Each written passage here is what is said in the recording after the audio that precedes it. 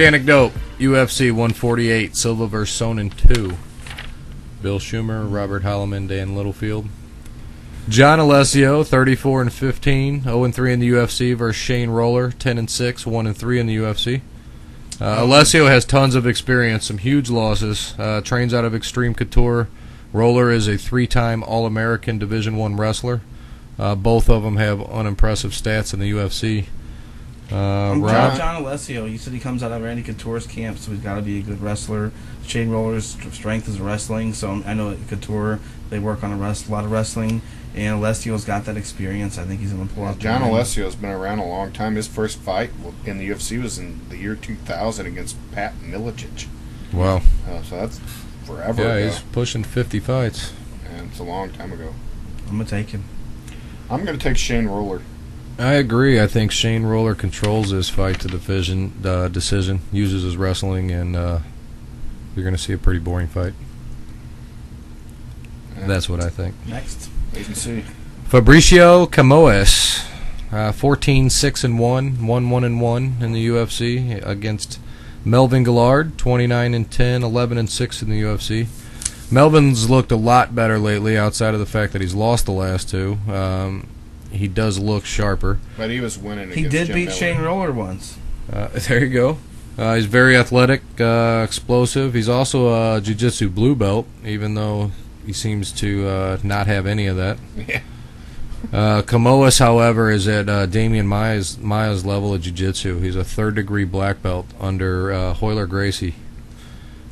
That's pretty nasty. Well, if he has uh, Damian Maia's takedown ability, then it's definitely going to the ground, right?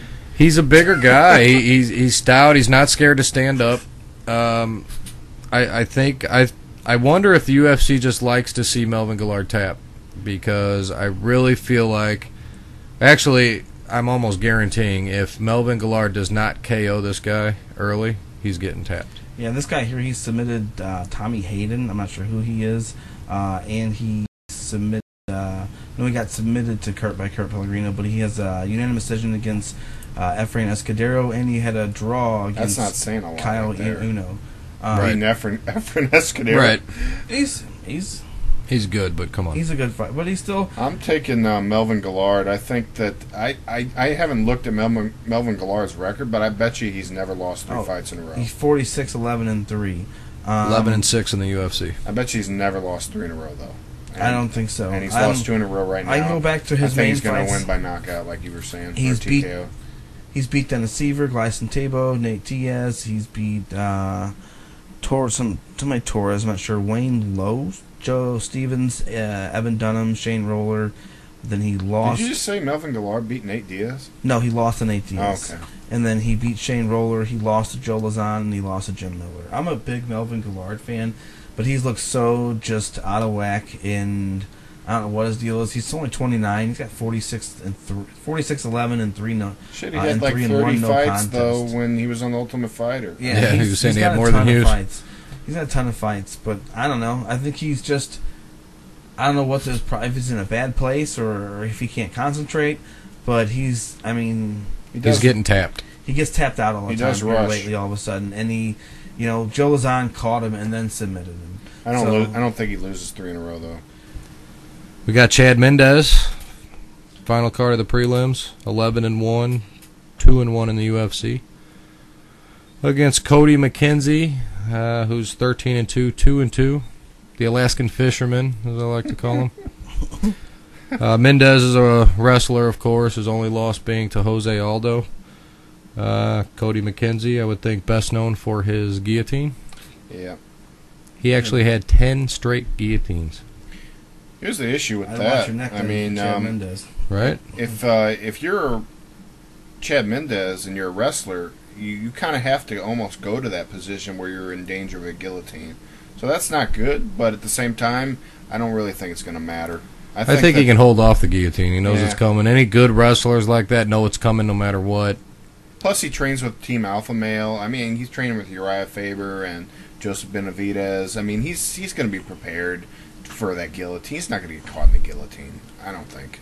I, I mean, McKenzie doesn't seem too powerful either, ever. Yeah, I think Mendes Um, takes it. Uh, Takes it to the ground, controls it. I think he takes it pretty easily. Honestly, he'll probably win by TKO. I agree. I kind of feel the same kind of almost what we're about to talk about the Damian Maia fight next is that when you're sub- when you when guys know that you're a submission, that's like your thing. And a big if it comes out the guys they train just for you know, especially when Just to not have that happen. especially when the guy goes on like if he had 10 submissions that's different. You know if he has 10 submissions and three guillotines a couple rear naked chokes an arm bar a triangle that's different. But when you have 10 guillotines i mean come on it's a one trick pony and it's you, you know not to get near that. Yeah, obviously 10 guys didn't take that advice that i would give to him but at that point you don't know he's going for 10 guillotines in a row but now that he has them, Guillotine's easy to get to, and he's a wrestler, so it could happen. I just some- don't think it will. Sometimes they, you know, the one trick ponies work out though. You know, I mean, Ronda Rousey, it's working for her. Um, what's his name? Uh, Paul Harris. Paul Harris. Paul Uh, Paul Harris. Harris. I think I'm pronouncing it wrong, but uh, i think that's correct you know, he's always going for the leg locks. He gets them all the time. You know, except for his last fight, of course. But, but uh, you know, sometimes it but works that's for what him. happens though when you focus on one thing though It's a danger for Chen Mendes because he is a wrestler, but um, he might be able to just keep it standing and beat him on the feet, and That's end what I think is gonna you know, stand end up getting the TKO. together. Well keep it Keep it together. together. We'll hit to the main card. We got Dong Hyun Kim, uh, 15 and one, two and one in the UFC, versus Damian Maya, 15 and four, nine and four in the UFC. Uh, Kim is of course a uh, judo black belt, fourth degree. Only losses to Condit. Uh, he also beat Nate Diaz. I would think those are the two toughest fights. Maia is a third degree black belt in jiu-jitsu, uh, but judo was his first martial art as a kid. So he's not unknown to the judo side of things. Do you think Kim can get the knockout? I don't think it's going to go to the ground at all. Damian Maia has never really shown any kind of takedown ability, in my opinion. I mean, I can't think of anybody that he's taken down. He's gotten submissions, but it's usually because someone else takes it takes Took him down. You know, I mean, You think Kim avoids that? Uh, I don't think it's going to the ground at all. I mean, every time I see uh, Damian Maia go for a takedown, it's either a really horrible shoot or Mm, it's it's that stuffed. type of trip.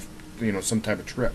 I see it more as uh, the judo putting it to the floor. I think they maybe get into the clinch. Kim gets him in the clinch, maybe throws a hip toss or something, throws him to the ground, and then doesn't get his arm back. I don't, I don't think it's understand going to why be the finish. why he I would think go it's to the gonna be a ground with him. decision. I, I look mean, at Maia's standings looked a lot better too. He's a little more sharper. He's been working on it. It's more course. technical, but it's he doesn't have any power. I mean, he has power, but obviously he wouldn't be a UFC fighter if he wouldn't didn't have power. But but he doesn't have like knockout power. You know, I mean, he's he's more technical. He kind of reminds me. Talking of Kim. like no of, of Damian Maia's Maia. striking. It's more technical than it is devastating. You you know, know, yeah. I just don't think. I don't it's, think it's a devastating striking at all. right. I mean, have Dong Hyun Kim in this fight. Uh, Dong Hyun Kim, but I think it's going to be a decision. Uh, he's he's finished one fight, his first fight. It's a TKO, his first win ever against a Jason Tan. Uh, he beat Matt Brown, split decision. He had a no contest against Karo Parisyan. Uh, he beat Matt TJ Brown's a Grant. good, tough fighter. He is a tough fighter. Um, and then he beat uh, Amir Sadollah. He beat Nate Diaz. He lost to Carlos Condit. you know, that's a good point. You bring up Amir. Amir Sadollah. Damian Maia's striking is a lot like, Like Amir Amir Sadollah's. Very technical, but not real powerful, devastating. And he won a unanimous That's kind of how it's probably going to go. Probably. I was gonna base my my decision on this fight was based on the Amir Sadollah fight. I feel like Amir Sadollah, Damian Maia. I think Damian Maia is better on the ground, but I think they kind of are kind of like fighters, and they kind of have the same abilities. And he unanimous decision to him. He lost to Carlos Condit. Um, There's Carlos no Condit shame in that, though. He's the interim champion. Exactly. I mean, and then you look at Damian Maia. His first three wins in the UFC were submissions against Ed Herman, Jason MacDonald, and unfortunately Chael Sonnen. Um, so he had three submissions in a row. Since then, he's four and four. He's law. He won a, a unanimous decision against Dan Miller. He lost a unanimous, uh, unanimous decision against Silva. Uh, he lost the uh, he won a unanimous decision against Mario Miranda. He won a unanimous decision against Kendall Grove. Unanimous decision lost to Mark Munoz. Uh, win against uh, Santiago and a loss against Weidman. All unanimous decisions ever since. He hasn't had one finish since the first three fights, and that brings me like I said last time when guys come in and they focus on submissions and they can't they can't win a striking fight and they focus on finishing as a as a submissions. They tend not to fare so well. And then he's four and four since then. He's seven four in the UFC, and I think Dong Hyun Kim's gonna he's gonna finish him. He's gonna finish him, and I think the second round. I think a hip toss and then get him on the ground and, and pound the shit out of him, or it could just be a, a TKO standing. Just I think you're going to need the TKO if that fight hits the mat. He's tapping. Think so? I agree. That's what he's I ne- think. He's never he's never been submitted. Dong Hyun Kim's never once been submitted. I'm So taking I mean, It's first time for everything. I'm taking Dong Hyun Kim. Patrick Cote, back from uh, quite the layoff. 17 and 7, 4 and 5 in the UFC versus Cung Le, 7 and 2, Hey. 0 and 1. Cung Le's UFC. coming off the KO loss to Wanderlei. Wanderlei Silva. That's his only UFC fight. Uh, he is seven and two though. Uh, all all of his fights, all nine of his fights have either ended in a KO or a TKO. He's knocked out four guys. He's TKO'd three guys, uh, and he's been TKO'd once and he's been KO'd. Once. He's got those crazy kicks. So He's he's- a Taekwondo tough. black belt. He's a big guy too. He, he's a stronger guy. He kind of he kind of reminds me of that uh, of that fighter from the movie Bloodsport uh, with Claude Van Damme way back in the day. you Bolo? Uh, I can't remember the guy's name. about big Bolo? Young. Bolo? Yeah, the big, the big uh, fighter. Yeah, yeah, that guy. He He kind of doesn't reminds even me. look like him at all. I don't know. He, if you look at him, they kind of do look. They look similar.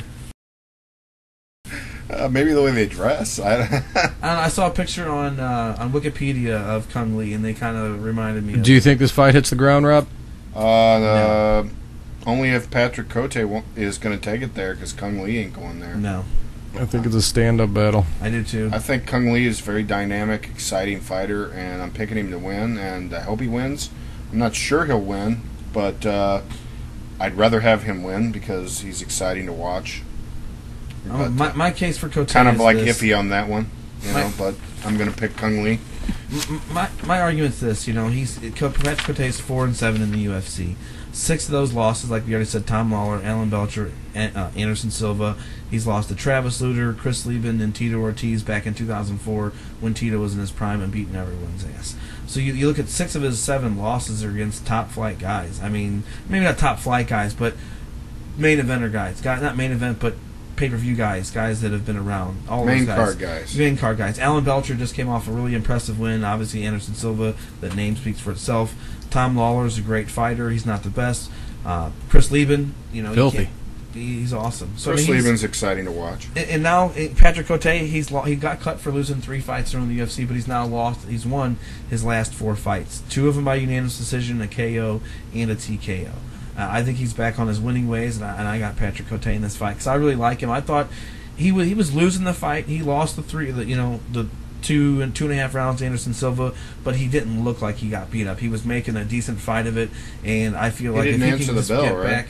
He, I think he came out No, in he the third. popped his knee and it was it. It was over in the third round. I thought he came out in the third round, and then It was like, in the third round that it happened. Yeah, he, Oh, he did answer the bell. well, he he, Yeah, he, he was out. He, He just didn't he come out injured it earlier in the fight, and he tried to gut it out, like, and, the, and he gutted out the rest of the second round. He came out in the third round in a minute or so. just kinda like fell He out. was like he just went down. He was trying to fight still. You could tell he was limping on it, and then he went down when he tried to move, and he was done.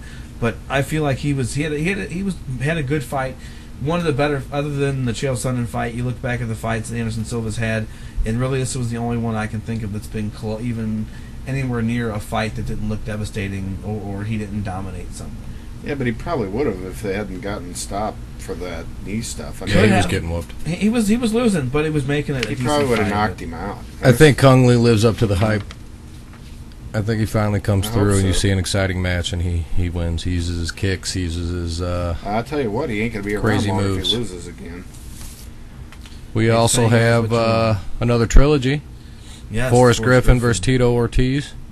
Uh, Griffin's 18 and 7, 9 and 5 in the UFC. Ortiz is 16, 10 and 1. Uh, all but one of his fights have been in the UFC. Uh, the first one, Tito won by a split decision. Uh, second one, Forrest won by split decision. Uh, Tito Ortiz is getting um, inducted in the Hall of Fame the day before this fight. I heard. day before. And before their last fight, he was just coming off back surgery. Uh, both being split decisions.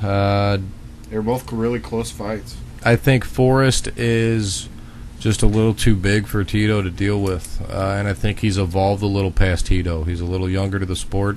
Forrest is- Tito was in, set in his ways, did his wrestling thing, and I think Forrest learned more things and It's been a came up while little since higher. Forrest just fought, though, right? He fought uh, in Brazil Shogun. versus Shogun. When was that? Um, I'm not sure. Was that in 2011 or big 2010? fight. Uh, 11, I believe. I think so. Early in 11. I think I think Tito's been more active than Forrest because he fought Rashad and Bader last year, didn't he? He fought three times in 2011. Possibly. He, he fought no. He fought Nogueira, Evans, and Bader all in 2000. Right. So yeah, he's actually been more reactive than than uh, I personally feel like this is for both these two guys. Forrest Griffin. I don't know anyone else in the UFC that he can fight at this point and have a good fight against. Stephen with the way he's looked. uh, maybe yeah, maybe Stephan Bonnar for another like trilogy fight. Actually, Tito yeah, it Ortiz- would be a trilogy. Yeah. Yeah, but then Tito Ortiz, the same.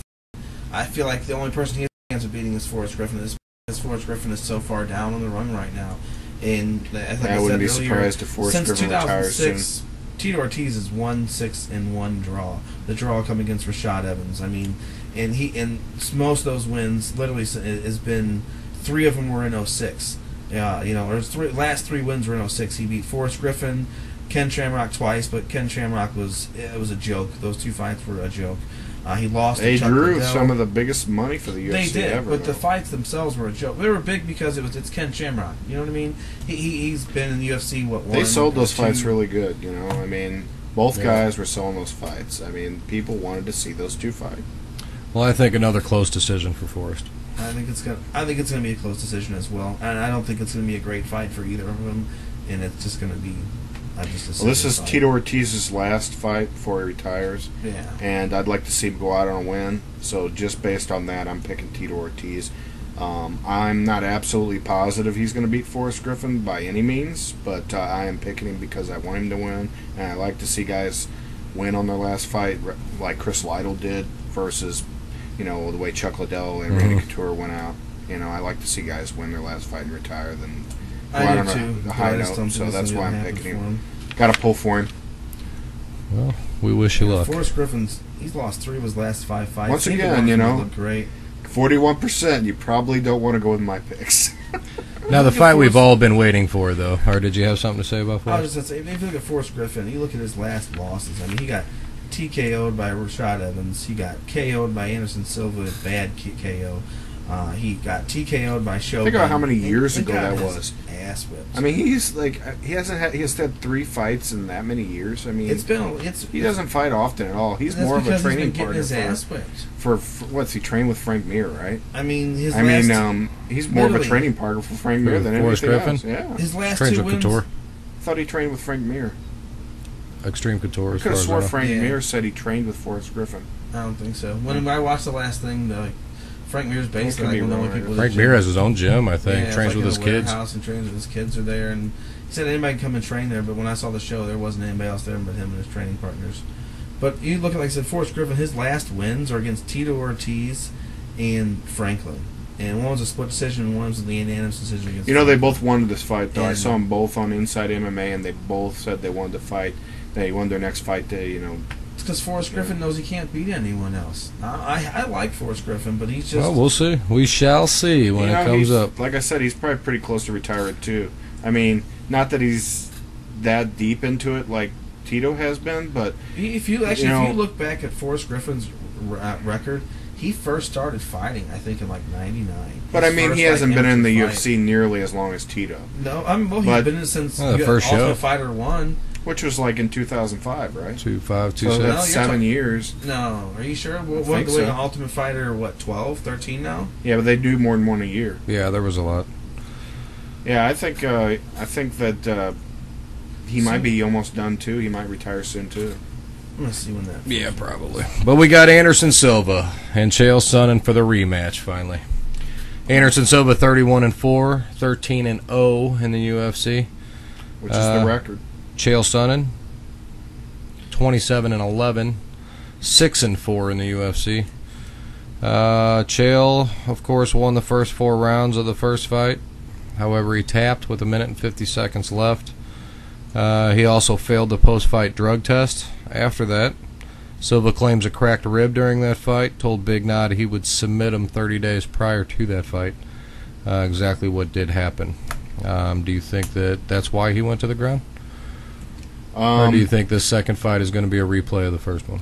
I don't think he purposely let Chael Sonnen take him down, but I think that uh, you know if he d- if he did really have a cracked rib or a broken rib going into the fight, it could have definitely played heavily on being taken down so easily because it's never looked like he's been taken down. So he's granted he's never really fought anybody quite as good of a wrestler as uh, Chael, except for maybe Dan Henderson. But even Chael's probably better than Dan Henderson. Well, he has. I mean, he's got great uh, takedown defense, but he has been known to be. I mean, hell, Travis Lutter had him in the mount. That's Travis Lutter. yeah, You know what I mean? I think Marquardt might have had him down for a minute. Um, Travis fucking Lutter. Yeah, a You lot know? of people were saying that Anderson Silva looked really flat-footed compared to his other fights in that fight. though. Yeah, he didn't come out bouncing uh, like crazy. He had the gi on instead of his uh, little thing. He wasn't jumping he around. Took, got took down on purpose and purposely, you know, let Chael Sonnen wail. I on just never seen him drop got- like that. until he got a t- triangle. But I think he was definitely pushing for that triangle the whole fight. You could see his legs every round, trying to inch up Chael back, and I even. I remember watching it saying he's going for a triangle, you know, he's going to go for a triangle, and I, you know, I don't see how Chael could miss it. This fight was originally scheduled in Brazil. Do you think, uh, with it being in Vegas, that gives Chael any advantage? No. Littlefield? No, No. because Anderson's fought in Vegas enough times that it's not. You don't gonna think it's be- closer to home for him? Then he'll have more fans. It'll be better for Chael because he's not getting booed as much. Well, better that he won't get like assaulted with like things thrown at him as he's walking out of the ring, but I No don't think better it's than that. No difference in the I don't fight? think it's- I don't think I don't so. think the di- fight I don't be think it's going to play change the any dynamic of the fight at all. I think it's going to be the same. Chael Sonnen's going to win and take him down again like he did the last time. And Uh, He's gonna in finish the what last he fight, he started. lost. I know. Oh, okay. I don't know if you but I said he's going to take him down like he did in the last fight. It won't go. There's no way he's going to go down that. Nobody's ever taken him down that easy. On top of that, Chael Sonnen's never even taken anybody down that easy. He Did couldn't Brian get Stan- Bisping down that easy. He, He, did couldn't. Brian Stann. Okay, maybe Brian Stann. He tossed Brian Stann to the ground like three Maybe, or four but times. But not Bisping, not Mounted Brian Marquardt. Stann, yeah. No, no, nobody like that. Um, Um, I'm rumors of a knee injury for Anderson Silva. However, did you guys hear that? Oh, no, that's not that. good. Um, I heard it a couple weeks ago, uh, where something come up where he did have a knee injury. However, through Twitter, Anderson says, "Don't worry about it. I'm going to be there on July 7th to do my job." I So- still think there's a chance that this fight doesn't take doesn't happen. Why? Chael was Why granted use of? TRT as well for this fight. Yeah, I I, I, I still have a feeling that Anderson Silva doesn't want this fight. Oh, come on. I do. Why, why is he, he pushed it off for so long? I don't think Anderson Silva's afraid of anybody. Why is he push it off except so for long, then? fighting maybe Jon Jones right now? Why, why did he push it off I don't so think long? he Why fight did he John turn down the fight so many times? He was injured. for that long. He had a shoulder But then, injury. but then he was training twice with. Yeah, I don't think. I, I, don't. mean, I don't think he's you're- afraid. you're- You Yeah, really but- think he's ducking him, huh? well, I mean, if your if your shoulder is injured where you can't fight a guy, do you really go train with Lyoto Sure. Machida? Why? Sure. Really? Train all If the time. He trains every day. He lives MMA, man. That's what he does. You gotta just don't train hard. You got to rest. You don't go if if you if your shoulder is Always messed up that you can't fight, you let it heal. He's a champ. He's the champ. He is the Not for fucking man. No, for much longer. Not till July seventh. He is the fucking Okay, man. well, I'm gonna I'm gonna say my piece because I don't really have as much to say about this as you guys probably did. Um, I want Chael Sonnen to win, and I, I'd like to see him win because it would make the middleweight division more interesting because Anderson's been on top for so long, and I just want to see something different happen. And I think it would be great if Chael won because then it would set up a third fight, and Silva's not going to be around Third fight Forever. will never happen. it could happen, but not if it, it happens three years from now. You know, I mean, but if if Chael were to win, if Chael wins, a third fight will happen. right? If Chael wins, Anderson you could Silva see take it. another fight between them in 2013, and you could see a trilogy, and it'd be good for business for the UFC in all aspects. I'd like to see Chael win. Having said that, I do not think it's going to go the same way as the first fight. I think that Anderson Silva is going to knock Chael Sonnen out either in the first or second round.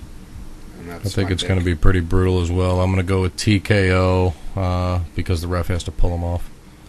I'm gonna go with TKO on the other side around because the referee's not gonna be able to pull Chael Sonnen off him when he starts to beat him. You can get disqualified if you, ca- if you don't stop He's punching him. fined because the the referee's gonna grab a hold of him. and He's gonna lay about three or four more punches. Just The only thing I can I don't understand with the pick is if you saw a guy completely control somebody for four and a half rounds never be able to pass guard, hit him in the face 300 times, and not cut him open? But how many times have we said that? Who the fuck? What are you doing anyway? How many times have we said Chael Sonnen hardly ever tries to advance? Did you see Chael? Sonnen's face He after that stays in the fight? guard. Yeah, he, He took 36 look shots. Chael, look at Chael Sonnen's 36. face after every fight. He always looks beat up. He took 36 shots to 300. Almost every fight he comes out of, he's got he looks beat up. Those 36 shots meant more than the 300. This time it's going to be a little bit backwards. He's It's going to get more definitely gonna be shots different, in I think. than Chael Sonnen. I Anderson like Chael, Silva too. by brutal TKO. Don't listen to Dan Littlefield. I'm the champ. Now, I would like to point out, uh, this time. I was even though you guys last got time. the same percentages, as far as main events go, you did prick Frank Mir. You did. Frank Mir. You almost guaranteed Frank Mir Uh, you with picked- you a picked Frank crazy, Mir. nasty knockout and talked about how you're going to be gloating about it. when and we Frank talking Mir about it got this time. obliterated. So this time, after Anderson Outclassed. wins, I'm going to expect a formal apology on the air. but either way, you have the picks and the main pick: Anderson Silva over Chael Sonnen. and it'll Chael probably Sonnen be over one of the Silva. biggest pay per views the UFC's ever had. It's a good. bill You of heard it fights. right here from the champ. Anderson Silva Where'd you get wins that? the fight. I stole this uh, from Chael Sonnen. That would never happen. Where'd you, where was his house? Yeah, it was on his uh, mantle over his fireplace. I walked in as a happen. gangster from St. Louis and swiped it directly off of him, smacked his wife in the ass, had her make me a sandwich, and then I'm fucking headed down to Brazil to hand this fucker back to Anderson where it truly belongs. And that's real.